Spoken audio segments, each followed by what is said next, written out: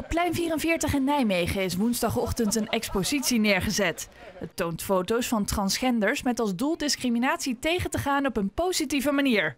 Het is georganiseerd door Pride Photo Nijmegen. Volgens Transgendernetwerk Nederland zijn er in 2017 een kwart meer meldingen geweest van discriminatie tegen transgenders. Dit is dan ook de aanleiding voor de tentoonstelling op het plein. De feestelijke opening van de expositie vindt donderdagavond plaats. Onder andere wethouder City Marketing Monique Esselbrugge is hierbij aanwezig.